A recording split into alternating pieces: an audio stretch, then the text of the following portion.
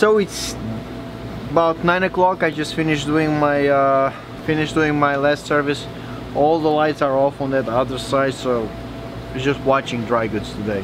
This fish right here is a yellow goatfish. um, the, this yellow goatfish uh, there's not a lot of information online. Not a lot. Actually if you put the scientific name on Google crashes there's nothing I have to check on FishBase. But basically with my experience we usually get a few of these. They come from uh, East Africa. They come from East Africa.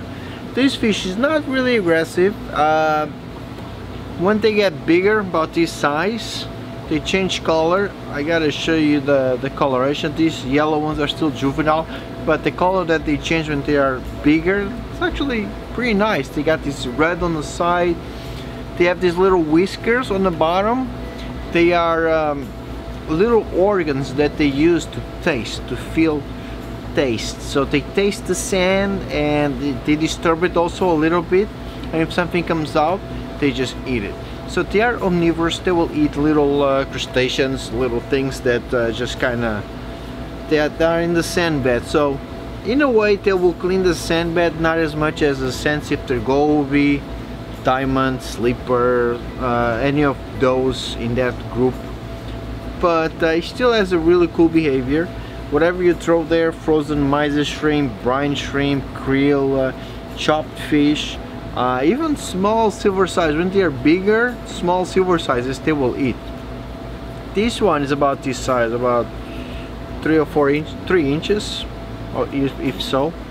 So with something bright colorful and if you want something on the lower uh, line of your tank uh, something benthonic stay on the bottom and colorful.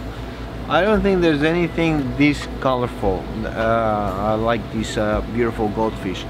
Size tank I'll say with the 55 and go up from the 55 the ones they're pretty big 150 160 and, and up you know the bigger the better. Being in groups uh, we didn't have them in groups the juveniles they were all fine together. Fighting with other fish nah they're usually peaceful. You know don't put them with groupers or snappers or something that will eat them but uh, other than that you're good.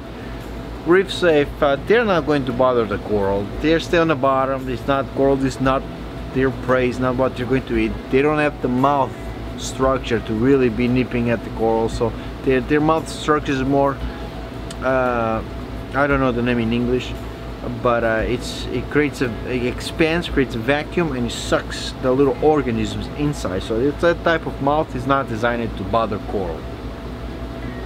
Um, other than that affordable colorful peaceful good fish. See you guys tomorrow